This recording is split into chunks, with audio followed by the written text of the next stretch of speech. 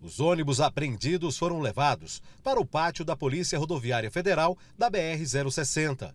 Todos são usados no transporte coletivo. Fazem parte da frota da empresa Rápido Araguaia. Os oito veículos, com placas final 4, estavam circulando pelo anel viário de Goiânia com documentações vencidas há mais de dois anos. Foi uma surpresa, porque as empresas é, deveriam, né, eu creio que deveriam cuidar mais da sua frota e o, todo cidadão tem que manter seu carro regularizado. Durante a abordagem, os veículos estavam cheios de passageiros. Para que eles não fossem prejudicados, antes da apreensão dos veículos, os policiais autorizaram que os motoristas seguissem para o terminal mais próximo para desembarcar as pessoas. Foram para o terminal de destino de, dos passageiros. No terminal, a gente orientou que o motorista não pegasse mais passageiros, deixasse os passageiros e não retornasse.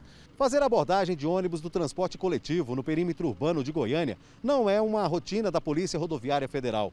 Mas no prazo de uma semana, 15 foram apreendidos devido a algum tipo de irregularidade.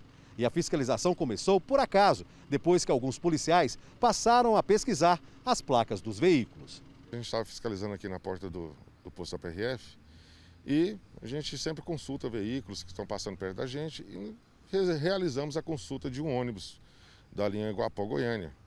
Verificou que estava com o licenciamento vencido.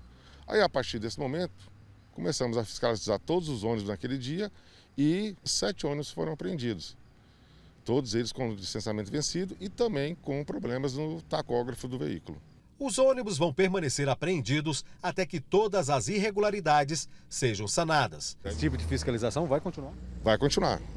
Os ônibus estão trafegando na rodovia federal, então vai continuar a fiscalização.